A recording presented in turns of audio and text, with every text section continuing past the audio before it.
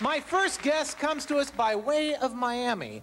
Please put your hands together for Company B.